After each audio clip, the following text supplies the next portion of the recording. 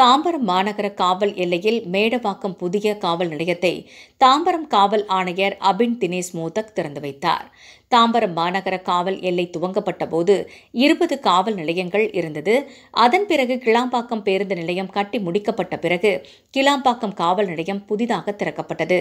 தற்போது நிர்வாக காரணங்களுக்காக பள்ளிக்கரணை காவல் நிலையத்தை பிரித்து மேடவாக்கம் காவல் நிலையம் உருவாக்கப்பட்டு கோவிலம்பாக்கத்தில் மேடவாக்கம் காவல் நிலையத்தை தாம்பரம் காவல் ஆணையர் அபின் தினேஷ் மோதக் அவர்களால் திறந்து வைக்கப்பட்டது. உடன் கூடுதல் ஆணையர் மகேஸ்வரி துணை ஆணையர் கௌதம் கோயல் உதவி ஆணையர் கிறிஸ்டின் ஜெய்சில் மற்றும் கோவில் மற்றும் ஊராட்சி மன்ற தலைவர் கீதா மணிமாறன் துணைத் தலைவர் மணிமாறன் ஆகியோர் கலந்து கொண்டனர். தற்போது தாம்பரம் மாநகர காவல் எல்லையில் இருபத்தி இரண்டு காவல் நிலையங்கள் உள்ளது.